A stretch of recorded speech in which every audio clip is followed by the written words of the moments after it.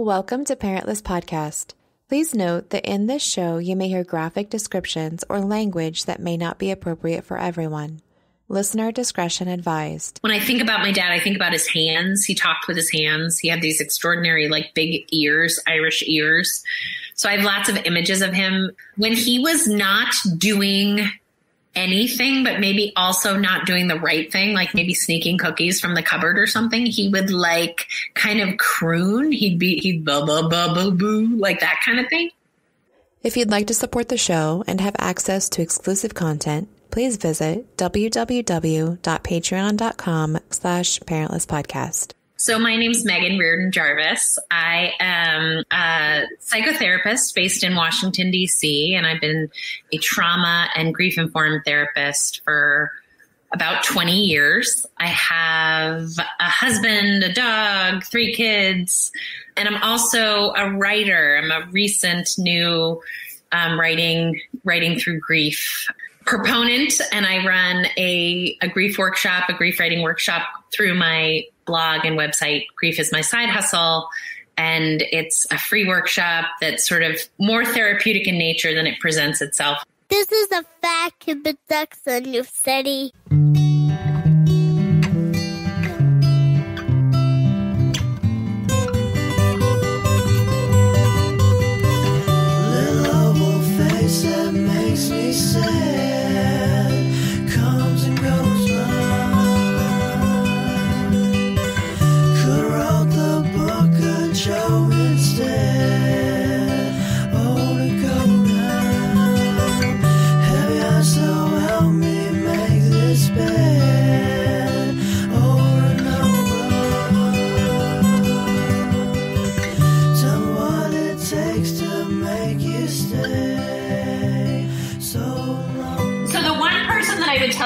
Says some things that I don't love, but I don't love them gently. I feel like they're well informed. She's also a clinician. Is Megan Devine? She wrote, "It's okay, you're not okay."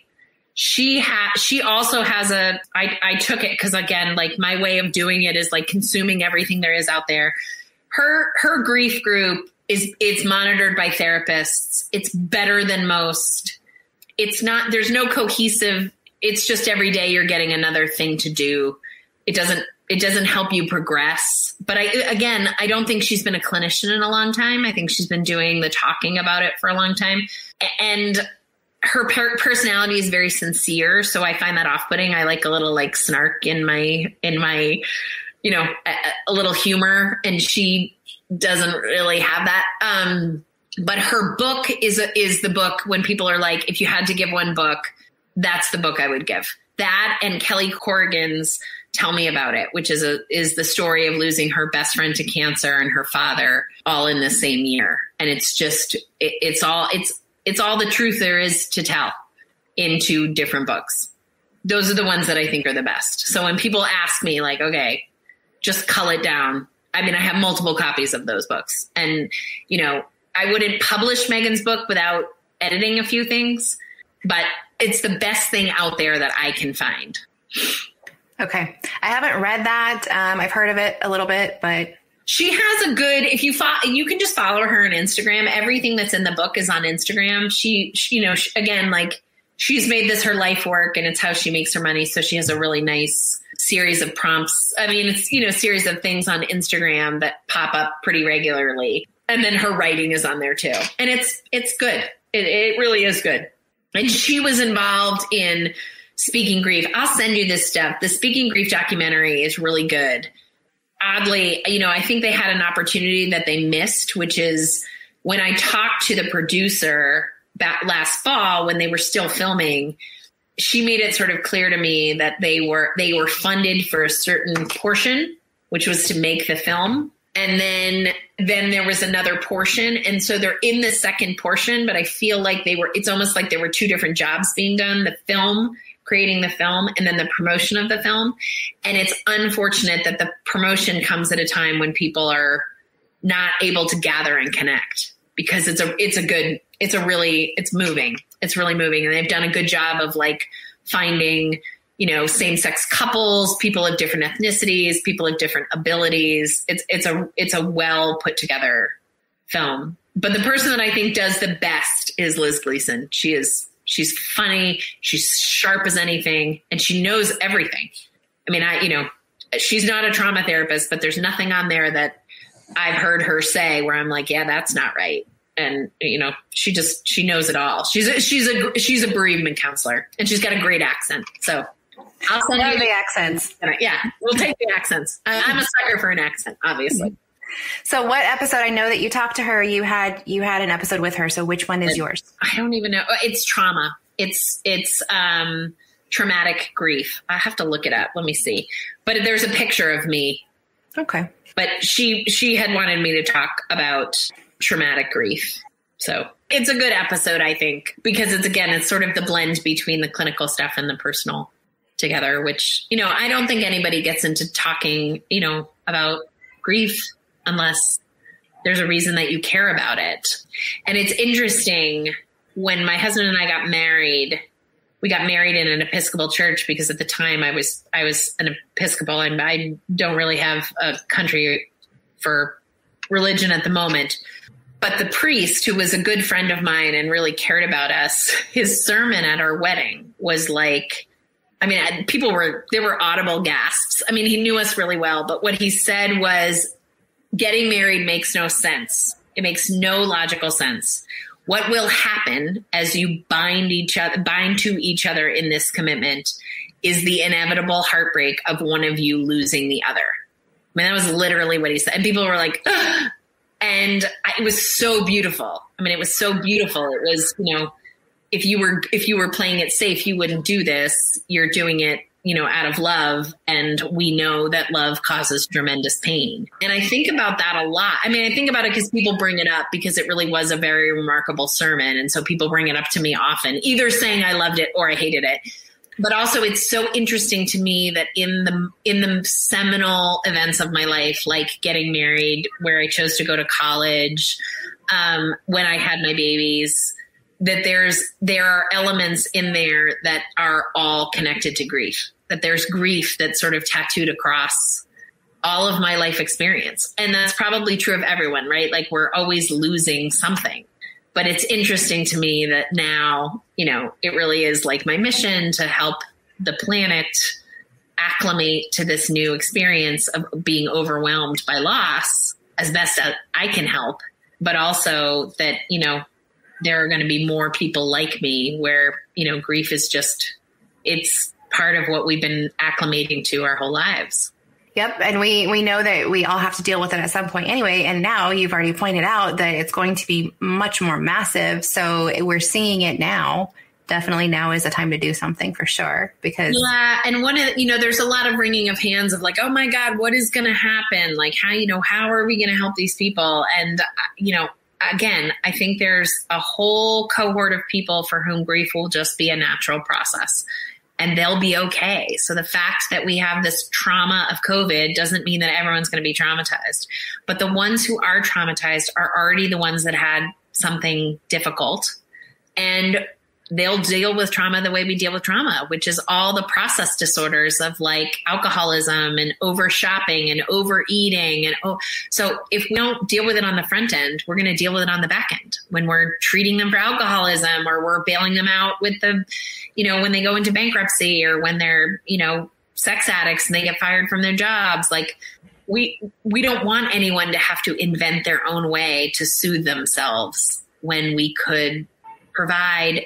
psychoeducation and support to do that. So, I mean, I wrote an op-ed a while ago that didn't really go anywhere, but uh, you know, that was just sort of like when Biden comes in, I hope he adds a grief czar to his administration. I hope he gets all the smartest voices from universities and you know, there are people that study grief all over the world.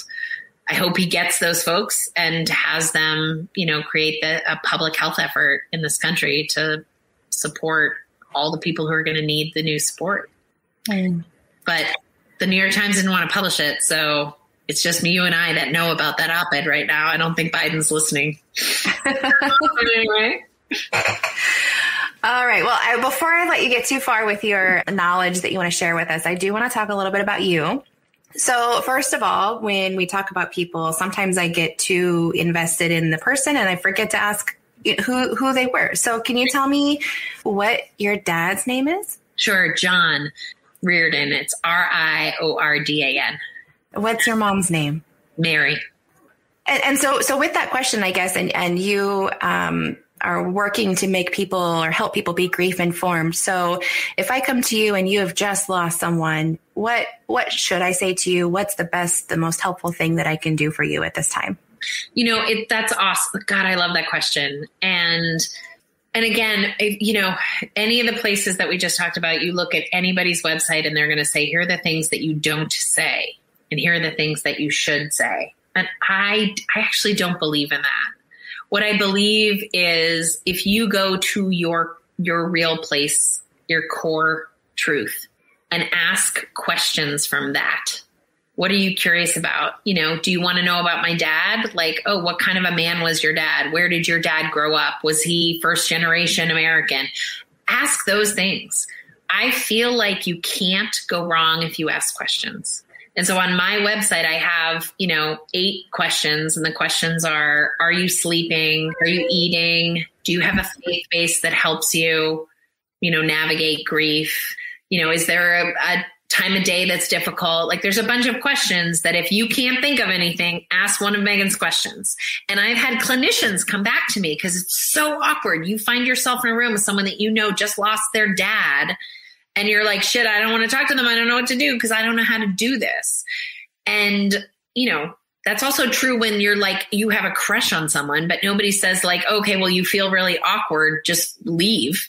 Don't say anything. Like, you push yourself forward. So I give people these, you know what? Just go to Meghan's website. You can look at these questions, have these in your back pocket, ask these. And the good thing about questions is if the person does not want to talk about it, which is what everyone worries about, everyone worries, I don't want to bring it up because I don't want to upset them. They can choose to not talk about it. Hey, I was just curious, like, how are you doing? Are you sleeping at all? You know what? I'm good. Thank you for asking. You will hear it. They don't want to talk about this. They don't want to know. They don't, you're out. Or, God, thank you for asking. I'm a wreck. I can't believe I'm here. You know, I had to slap on four coat, coats of mascara because all it is is like the way that I think about it is I spent a lot of time in New York is like, you know, when you're in, you're like a pregnant lady in New York or an old lady in New York comes onto the train and everyone acts like they didn't see them. Like, come on, you assholes. Yes, you did. And if you saw them and you're not making room, why can't you make room for them? Why? Like, do you need that chair so bad? And if you need that chair so bad, maybe that's okay. But even if they, even if you just slide over and they can then be like, no, I'm good. I don't need to sit down. That is huge, right? Like you don't need to sit down. You don't want to sit down. That's cool. I just wanted you to know that I'm, there's room here for you to sit down. And so I think of that as like cocktail party, church, you know, family reunion. You can do that. How are you doing this? You know, how are you doing? So that's what I want people to, to do is find a question that is authentic to you and ask it. If you're curious, like, hey, you know, how are your dad's brothers doing? You can ask, I wouldn't ask that the first thing. I would always ask about the griever, always let them know that you see them and that you can see their grief, even though they may be choosing to hide it. And, you know, I've had so many people call me and say, Oh my God, Meghan, I, w- I went to back to school night and that lady whose husband just died was there and I didn't say anything. And the thing is, you can just send them a text or an email. I'm so sorry. I had all, I felt all kinds of weird ways and I should have said something to you or I wish I'd said something to you. And the people are like, I feel all kinds of ways too. Thank you for telling me.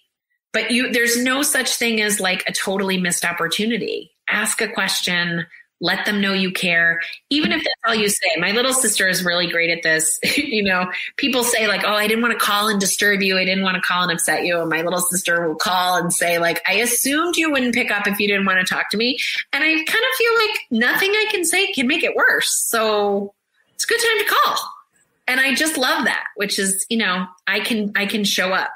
And what I think is also important about being a supporter or someone who's curious is to also know, you know, your curiosity is not more important than the person's experience, that your job is to be sure that you do the best you can to be helpful to the person who has the need, not to meet your own needs. So yeah, I had a conversation with someone recently and they were, you know, my big thing is like, I don't want to hear that my mom is an angel in heaven because I just don't believe that. And so when her really deeply religious friends say that to me, I say back to them, I know that brings you comfort. I don't believe that. So it doesn't bring me comfort. And I believe your intention is to make me feel good and that's making me feel bad. And then, you know, I'll say, but I'm open to anything else. Like if you want to tell me something else, you can tell me a great story about my mom. Like I love that too. But people trying to provide me comfort is that's not their job. They can't do it. So I, you know, what I when people say what should I do? Go close, step close, ask a question. If the person doesn't want you close, you will know it and then step back. Check your motivation. Are you are you stepping close because you're curious or interested in this? Or because you believe that you want to extend your compassion to this person. If it's the first, do not do it. You know, I I had a friend commit suicide. I guess it's oh, 10 days ago now and it's been, you know, as brutal as it sounds. And the family has chosen to be really private about the fact that it was a suicide. But it's obvious when you read an obituary in a you know, a young woman dies and then no one mentions anything, it's the first thing that everybody wonders about. And so as a mental health professional, I'm like, damn it, I wish I wish they could have figured that out differently because it creates shame when, you know, if she had died of like a diabetic, you know, issue, it would have said she died of complications of diabetes. So the fact that she died the way that she died generates a lot of curiosity from people and I don't blame that. You know, I don't blame anybody for being curious or wondering or being concerned. But you do not step to the primary grievers and ask that question: How did she? How did she die? If you already have an edge on it, ask ask a friend, ask somebody else, ask her roommate from college. Do not ask a family or a primary griever.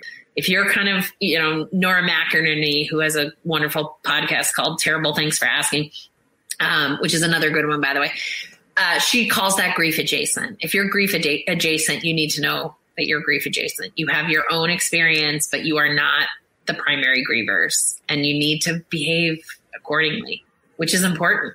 It's really important. There's a there's a devastating play that's it would still be on Broadway if Broadway was open called Dear Evan Hansen, which is about a teenager committing suicide and the fallout of people drawing attention to themselves as being connected to that suicide when they weren't.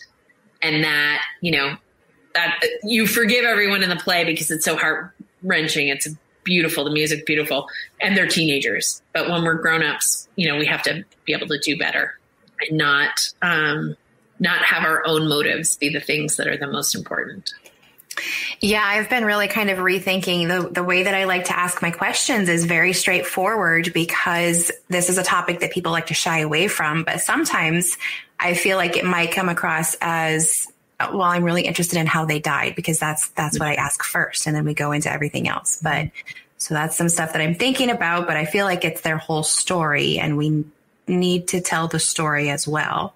I don't think it's inappropriate to ask how someone died, but I wouldn't ask it as the lead, not because I think there's a right or wrong, but because uh, you know, I had a neighbor who was like, I, I mean, I'm so, I'm so like out there and straightforward. You know, somebody I sort of casually know from the community pool who said who sent me a really loving text after my mom died and said let me know if you want to like take a walk or get a glass of wine. And i wrote back like we have never taken a walk before and ha- or like had a drink together. Why why would the fact that my mom died suddenly make me of more interest to you in that way?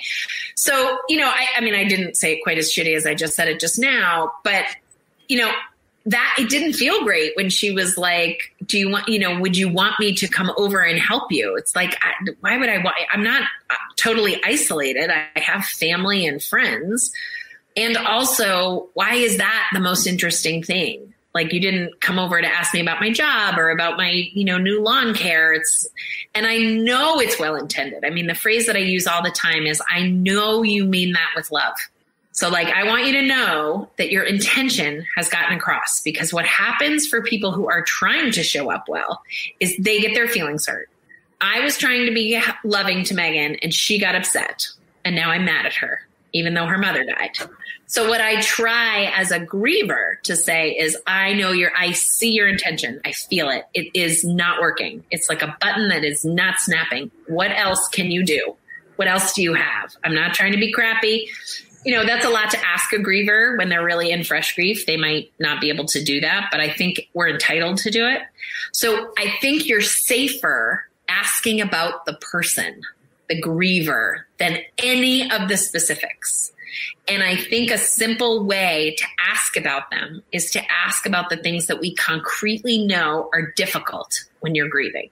Eating, sleeping, are I'm either eating too much or I'm sleeping all the time or I can't sleep at all and I can't eat anything. Those are the ones that I would start with.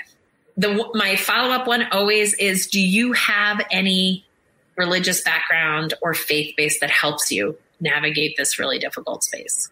did you grow up with any like God stuff or, you know, does that help? Does it make it worse?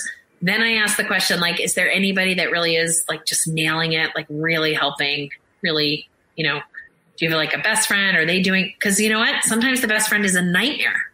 Like, no, my best friend is a nightmare. They're, they're doing all the wrong things and they're making me want to kill myself. But my roommate from college, who I haven't spoken to in 14 years, weirdly, because her mom died, she's been really helpful. So it's a way of like talking about yourself without having to go into the grief experience that, you know, I think of active grief as sort of like a Halloween costume, like a Spider-Man costume, like it's thin and it's clingy. And when I put it on, I'm in it.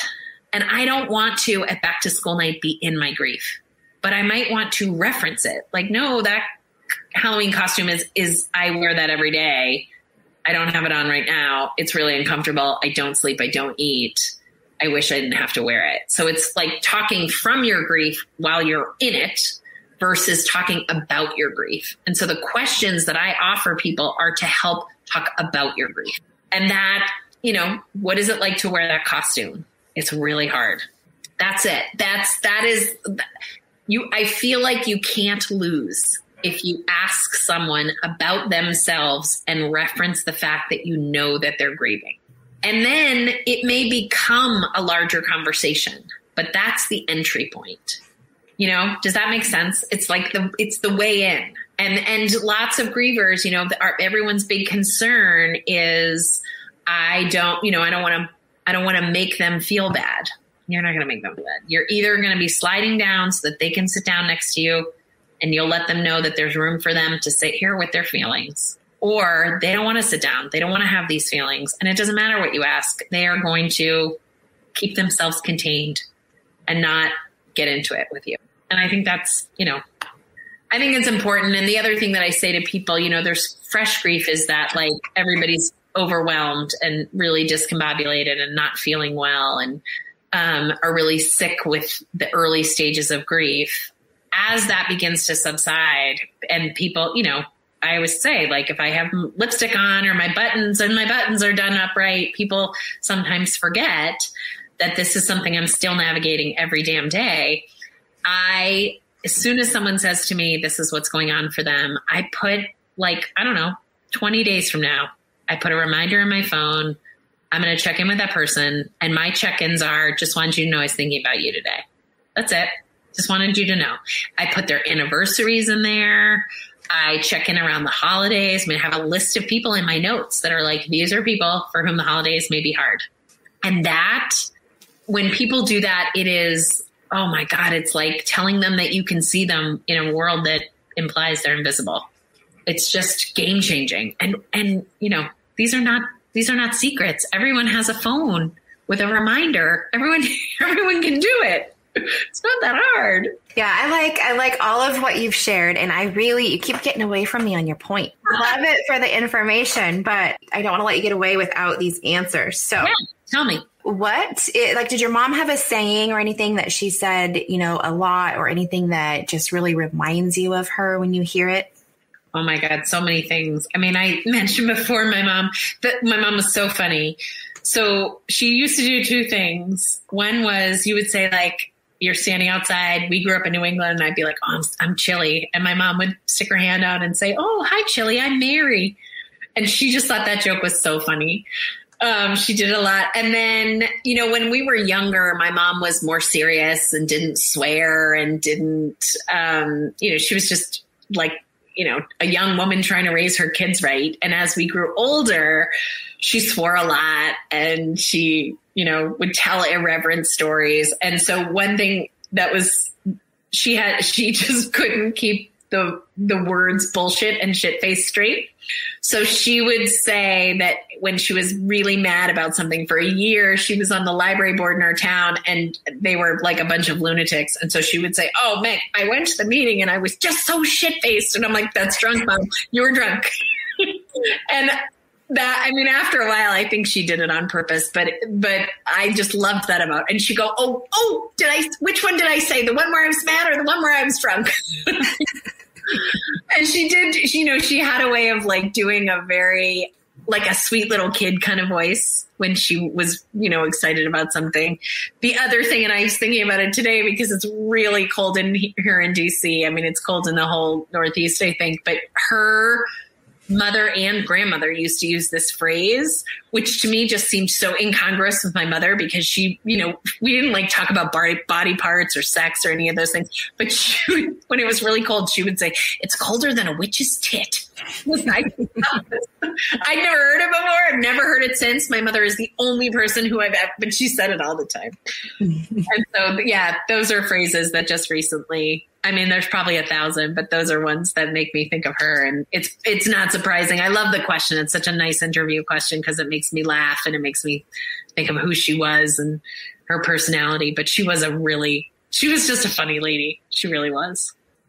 And just from your post, I guess I shouldn't assume anything, but you seem like a very involved mom and just like I would like to be like you. Um, so you had to learn. I mean, I, I just feel like your mom was probably just a great mom for you.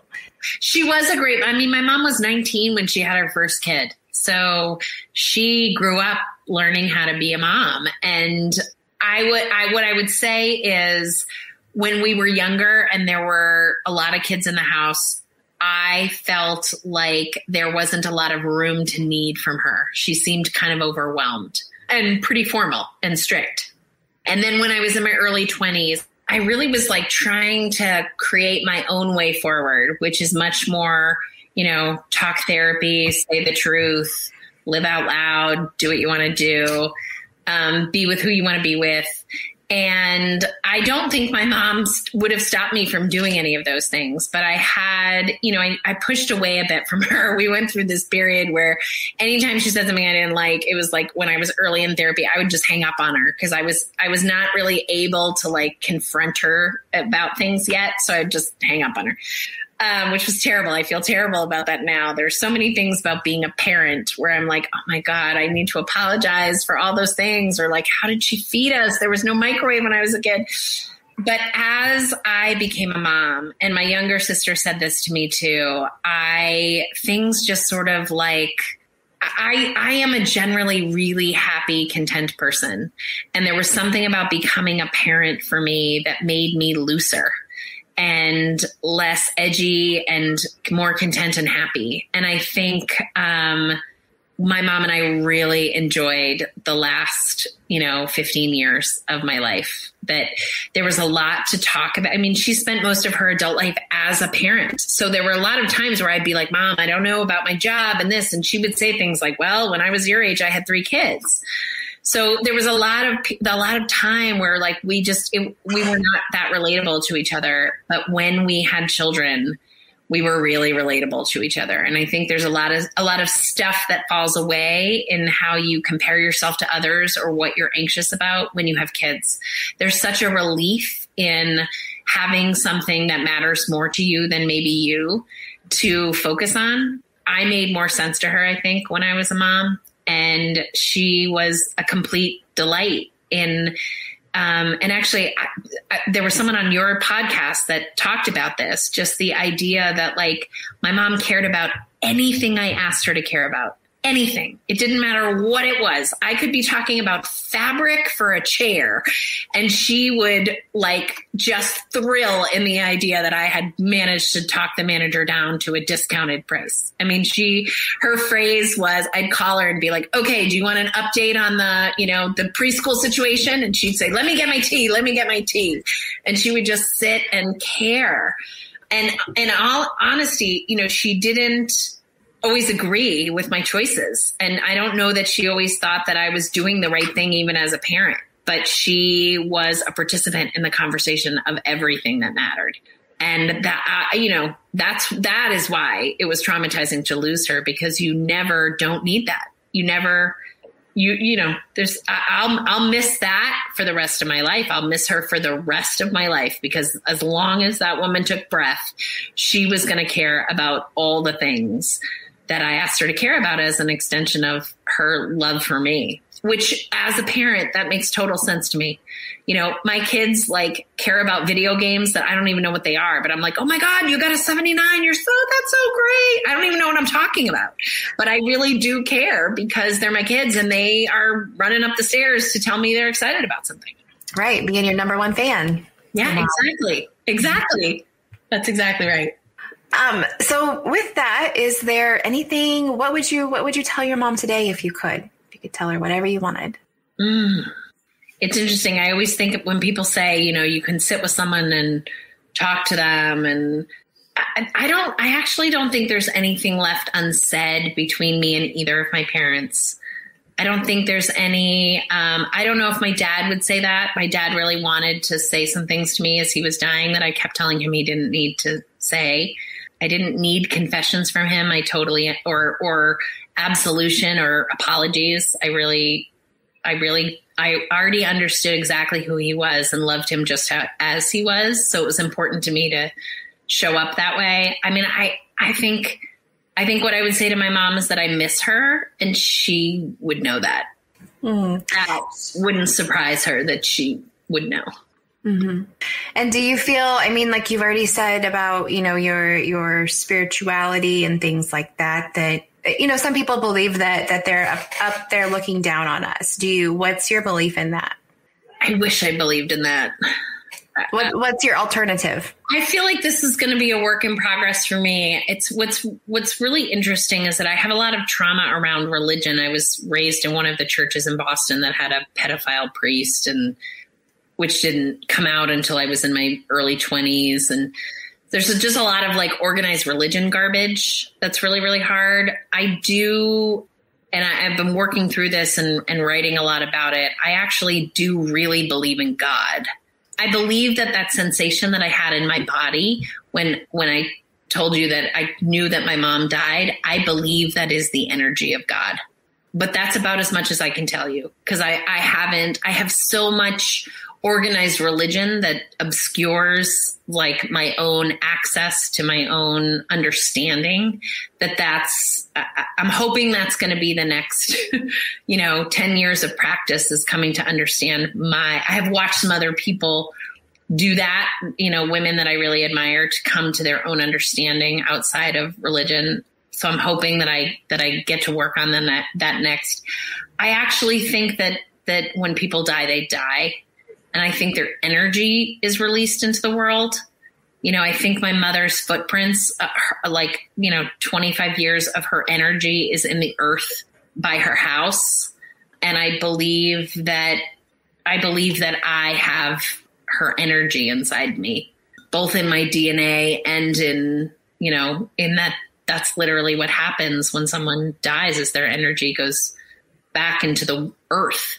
But that's about as far as I've gotten. I, you know, I would love to believe that she's trying to send me messages. She and I would laugh so hard about after my dad died, we got these cards that said like, you know, when you see a butterfly, you know, you'll think of him and the, you know, the wind in his wings or something. And like, that is not who my, my dad is not coming back as a butterfly. Like he might come back as a traffic jam, but he's not coming back as a butterfly or a hurricane or something. So we laughed a lot about that.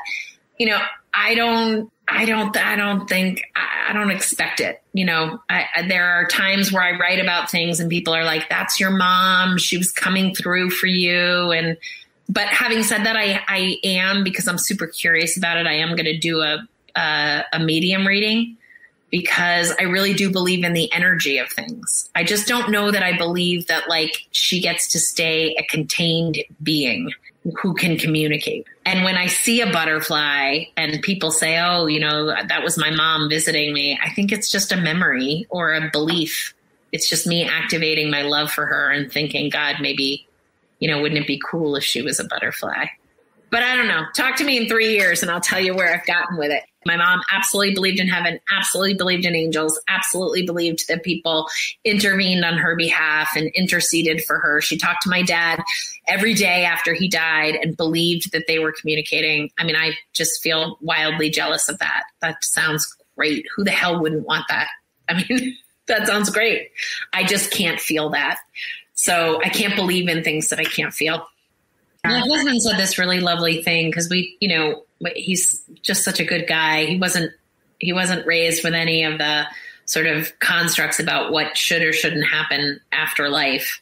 And I, so I said to him, like, what do you think? Like, what do you, you know, just tell me what you think. And he said, and he said this thing that like, if I were going to get to believe in anything, I like this one the most, which is that maybe you get what you believe in when you die. That if you believe in heaven, that's what you get. And it's populated with all the people that you want to be there because why couldn't it be? And that if you believe in reincarnation, then that's what you get. And if you believe in nothing, then that's what you get. And not as a punishment, but just you get that maybe that is the gift of death is that you get what you believe in. And I love that idea. I just, because I, I would love for my mom to get what she believed. She really believed that she was going to be reunited with people that she adored and loved. And I, I hope that's true. Yeah, I kind of was wondering. Um, I've never heard that that outlook, so I like it as well. But I was wondering, like, how your feelings were knowing that you have a different belief than your mom, and maybe she's not really where she, you know, according to your belief, she may or may not be where she wanted to be. So, yeah, I mean, I yeah, it. I mean, according to my belief, she's not really anything conscious or in, in formalized existence anymore. So that would that would be okay with me if that is the way that it is that's okay but you know the same way I, I have a good friend whose mother-in-law died really young and you know she just says over and over again like i'm just so sad she didn't get to live this part of her life and see these things and enjoy these things and you know the way that I feel about it right now, and I mean this really sincerely, like I've already had so much more life that was so good than I ever expected that if I were to die tomorrow, I would be okay. Like this is, I won the fucking lottery when it comes to my life. I would feel terrible for my children. I would feel terrible for my husband. That is the part that I, you know, makes me rock back and forth in the corner when I fear things like COVID. But, you know, I think my mom, if if she doesn't get anything else, she would have been fine. If, you know, she she liked her life a lot. She was pretty content. And the part that I didn't mention is she did she did die this gorgeous death, which is she had seen all of her children, which is pretty extraordinary because we are spread all over the place. But she had recently been to Seattle to see my sister, her oldest daughter, my oldest sister. We'd gone to Maine to see my brother. She had seen her own brother in Seattle only because she had gone out to my niece's graduation. And the rest of my siblings had been to her home to visit because I was there. So in the week that she died, she had in the in the month that she died, she had seen everybody that was directly blood related to her. And then, you know, she went to bed and died in her sleep holding a rosary in her favorite pajamas. Like that's, you know, and she talked to a friend the night before and she even though we fought about it, she went and visited her, the Monsignor, who was a really good friend of hers, and he blessed her before she left. Like you, it was. I have a chapter in the book that I'm writing that's the, called "The Most Beautiful Death That Ever Was." I mean, you can't get any better than that. And what's you know part of the reason I write about it is it still traumatized me. You know, you can't, when people are like, oh, if only my dad had lived for whatever, or if only he, my mom hadn't had to suffer. It's like my mom literally had the most beautiful death a human could ask for. And it was still the worst. it was the worst. You know, I had to be hospitalized. That's how, that's how hard it was. Because it's really not about the death. It's about the loss. Yeah. And what you said, you know, we all we all have loss, but we experience it in different ways. Definitely, for sure. Yeah, that's it's Oh. absolutely true. So we talked about your mom a little bit, some of those things. Did your dad have a, a saying or anything that reminds you of him? Also, we talk about, you know, the Hmm. smell, sight, taste, sound. I, my dad is really visceral for me. Like when I think about my dad, I think about his hands. He talked with his hands. He had these extraordinary, like big ears, Irish ears. So I have lots of images of him. He, when he was not doing anything, but maybe also not doing the right thing, like maybe sneaking cookies from the cupboard or something, he would like kind of croon. He'd be, he'd blah, blah, blah, blah, boo, like that kind of thing. So I think about that a lot and I do that a little bit myself now, which I never did before. And I have heard some other people do that and it's, I just have like a real affection for, for that. The thing that my dad said to me in my, in my adult life, which almost felt incongruous to how I was raised, is he said, don't chase, don't chase other people's joy. Other people's happy is theirs. You have to find your own which I just love that. I mean, I just, if, if you were going to ask me something that I 100% believe to be true of the human experience, it is that. And I think, you know, my dad lived, he grew up in near poverty and, you know, built himself into the man that he was. And so I think he learned that lesson the hard way. I think he assumed that people who had certain things or access to certain things were happy. And I think he came to understand that, like, it, that's not how happy works so I really always appreciated that like piece of advice from him is, you know, don't chase someone else's happy. Don't go to law school because other people think that law school is a thing to do. Like go to law school because you think that's going to make you happy. Was he a lawyer? No, he wasn't. No, my dad was an interesting guy. He published um, textbooks for a while. Um, he was brilliant. He spoke five different languages, and um, he ended up working at a trade association that took advantage. You know, that really sh- it, his international interests and his ability to use his language and his huge, unbelievable brain. Um, he ended up working there and then retiring from there, and he loved it. I mean, he it was his it was his clubhouse. So you said your dad had a very large brain, very smart. Um, do you feel like you you get that from him? I mean, with your work, you can't. You, you've got to have a large brain as well. Yeah, yeah. ah, I mean, I'm nowhere near. My dad was like, you know, genius level. I, I, there, what I what I did get from my dad is a work ethic. I mean, he taught us to work really hard, and my both of my parents had really high expectations about that, and and and did things that I value and find hard to do, like not overindulge us and expect us to, you know, work for our own money and to put our own talents to, you know, they they would never have called the school on our behalf. They would have expected us to advocate for ourselves.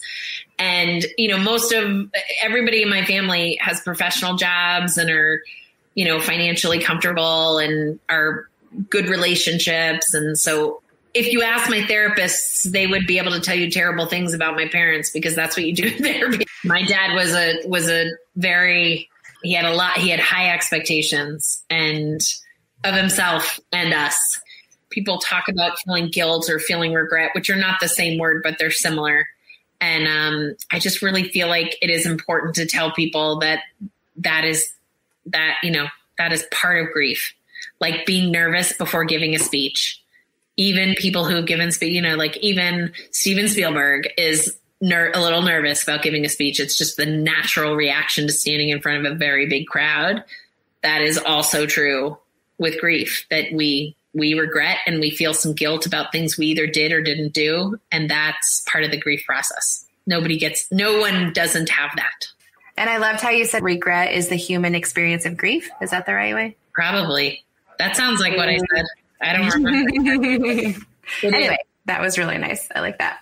So I don't know. I just I loved everything you've shared. I know that you have so much more to share, and you've got your books coming out, and you're writing. Your um, I intended to be more active in the writing, but that didn't Yeah. happen. So I'm joining again, Awesome. Hopefully, good, good. I'm hoping that we're going to have another good group. I'm just going to keep doing it as long as there's interest. So uh, it's interesting because there were like 150 people on a waiting list, and I put this out. Maybe I put it out too early. I'm still learning the whole process, but people haven't signed up as quickly, so I'm still trying to figure that out. So it may be a smaller group. I don't know. I mean, it it's more than a week. It's two weeks before it starts, so we'll just we'll just have to see but I'm excited about it. I have some prompts and some ideas about how I want to share things, and it's been really good for me. So February 8th, the prompts come out, and you know, it really is designed that I deliberately there's some there's some formats where every day you get a new prompt. It's deliberately designed so that you have a day in between to sort of catch up, skip one, and then I give sort of a, a meatier prompt on a Friday so that you have some time to go, you know, spend some time with it if you want to. But they're, you know, if you do them, great. If you don't do them, they're there and they'll stay there so people can come through. I'm I'm hoping to get it in workbook form because I think there are some people. I mean, I'm one of those. I write everything out by hand before I type it. So I like the idea of taking the images and being able to give it to people in a workbook form so that they can do it at their own pace at the beach without their device. I think that'd be great. So we'll see. There's a there's a there's a lot of a lot of um, paperwork and other people to talk to when when you do it that way, but I think it could be good. Grief is my side hustle. Come come find it. There's you people can just come and read what I've written. They can come look at resources. There's actually it, right now it's just a blog and it's about to turn into an interactive website. So it'll just shift. It's the format will look different. It'll have all the same stuff, but it'll have a lot more on there, including um, a whole bunch of stuff about grief mates, which is the which is the writing group. Awesome. Yeah. That's so good. I'm so glad to have you here with me today. Thank you. Thanks for being the voice, you know, that's asking these questions and asking people to talk about this. You asked me a couple questions nobody's ever asked me, so I really appreciate that. I, it was just great. Yeah, it was really great being here you just have i like i like your approach to everything and like you said you're in the group you're very conscious about what's going on and i don't know how you do your job be a mom be a wife uh, grieve and do your job and do the writing so i think you're amazing in everything Thank i've seen so far and i think Thank you're gonna do you're gonna do so great much. things for our grief community you're It already was- doing them this was really fun. This is really great. I really appreciate it. And I appreciate your voice out there. You know, we're all on the same team trying to do the same things, same hard thing. Thank you for sharing about John and Mary with me. It's been a pleasure. I think you have a lot more stories to share with us. So maybe, maybe in the group, or maybe on. No, I just need to go to Grief is my side hustle, and I will Lot of it's bring there. everything I know. Thank you so much. Thank All right, thank you. All right. We'll see Take you care. there. Take care. Bye bye.